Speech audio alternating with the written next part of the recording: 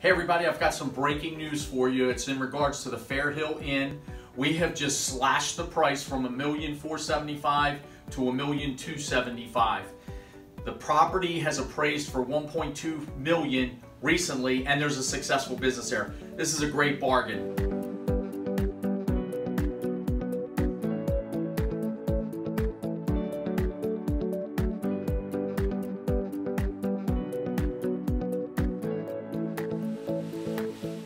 We had to cut it because of a medical issue with the owner. We've got to get it sold quickly. And obviously, as you know, this is in horse country where the international event next year is happening. The upside here is huge for the right buyer, but I've got to get it sold quickly.